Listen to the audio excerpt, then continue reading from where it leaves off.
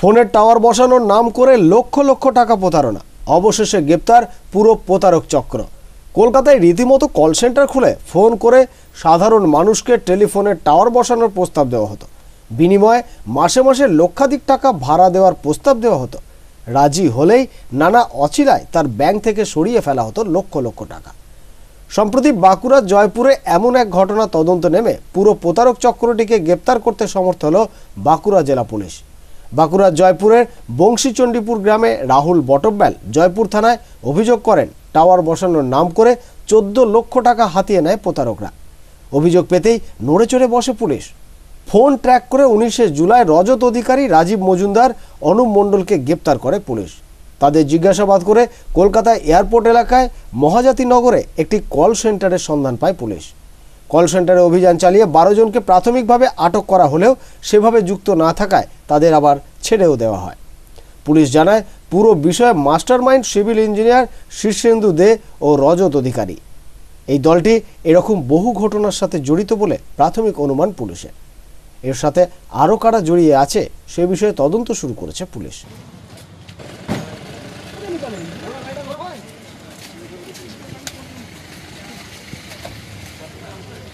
গত সাত তারিখে, সাত জুলাইতে আমাদের জয়পুর থানায় একটা কেস আমরা সাইবার ফ্রডের একটা কেস স্টার্ট করেছিলাম, যেখানে একটা ভিক্টিম তার নাম হচ্ছে রাহুল বটাবিয়া, সে আমাদের কাছে এসে রিপোর্ট করল কি তার কাছে জিও আর এয়ারটেল টাওয়ার নাম টাওয়ার বসানোর নাম করে ফোন এসেছিল। আর তারা বলল কি, আপনার বাড়িতে আমরা টাওয়ার বসাবো টাওয়ার বসিয়ে আপনার প্রত্যেক মাসে এক লাখ দেড় লাখ টাকা আপনি ভাড়া পাবেন। এইভাবে ওদেরকে ওদেরকে একটা টোপ দিয়ে ওর কাছ থেকে ডকুমেন্টসগুলো ফোনের মাধ্যমে নেওয়া হলো। আর তারপর থেকে আস্তে আস্তে কোন নানা রকম ওদেরকে প্রতারণা দিয়ে, লোভ দিয়ে, টোপ দিয়ে ওর কাছ থেকে প্রায় সাড়ে চোদ্দ লাখ টাকা কেড়ে নিল এরা ফোনের মাধ্যমে, আর অ্যাকাউন্টে ট্রান্সফার করে দিল। এইটা করে ওরা এফআইআর করল। দেখুন, এফআইআর হলো, তারপর থেকে আমাদের তদন্ত চালু হয়েছিল। আমরা একটা স্পেশাল টিম ফর্ম করেছিলাম, তাতে আমাদের ডিএসপি ডিএনটি এসডিপিও বিষ্ণুপুর আমাদের সাইবার ক্রাইম থানার অনেক অফিসার্স আইসি সাইবার ক্রাইম আছে এখানে, আমাদের আইও আছে সাব ইন্সপেক্টর বাবুলাল গোরাই আর এএসআই সব্যসাচী আছে। এনাদেরকে মিলিয়ে এরা সব একটা জয়েন্ট অপারেশন তার অনেক দিন ধরে চলছিল।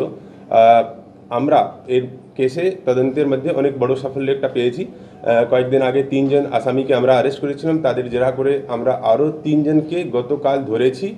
আর বিধাননগর পুলিশ কমিশনারেটের হেল্প নিয়ে আমরা এয়ারপোর্টে এয়ারপোর্ট পুলিশ স্টেশন এরিয়ার মধ্যে বিরাটি বলে একটা জায়গায় সেখানে একটা কল সেন্টারকে আমরা ব্রেক থ্রু করলাম। একটা কল সেন্টার ওখানে ছিল। সেখান থেকে আমরা তেরো তিনজনকে ধরা হয়েছে। এর সাথে বারো জনকে আরও পাওয়া গিয়েছিল। তাদের খুব বেশি আমরা ইনভলভমেন্ট পাইনি। ওখানে একটা কল সেন্টার চলছিল। সেই কল সেন্টারের মাধ্যমে কীভাবে প্রতারণা হতো, সেটা আমরা একটা পুরো গ্যাংটাকে ডিটেক্ট করতে পেরেছি।